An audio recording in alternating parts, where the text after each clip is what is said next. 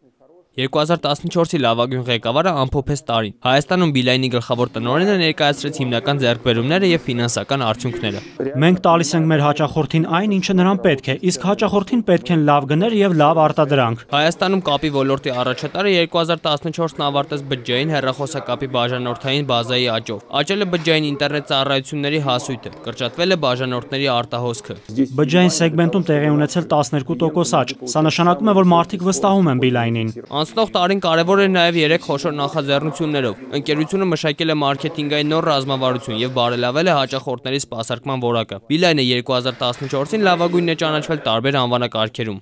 Beeline-ը ճանաչվել է կապի ոլորտի առաջատար, լավագույն օտարերկրյա ներդրող, հեռահաղորդակցության առաջատար օպերատոր եւ էկոլոգիապես ամենապատասխանատու ընկերություն։ Հեռահաղորդակցության օպերատորը շարունակելու է իր բաժանորդներին ներկայացնել նոր անակնկալներ։ Աղվան Ասոյան, Արմեն Գևորքյան, ժամը լրատվական